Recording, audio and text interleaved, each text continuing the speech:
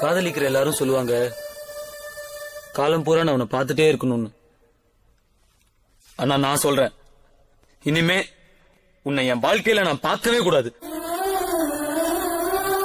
எனக்கு இங்கிலீஷ்லாம் தெரியாது தானேம்மா என்னை விட்டுட்டு வேற ஒரு மாப்பிள்ளைய கல்யாணம் பண்ணிக்க முடிவு பண்ண. இப்ப எனக்கு தெரிஞ்ச இங்கிலீஷ்ல ஒரு வார்த்தை சொல்றேன்.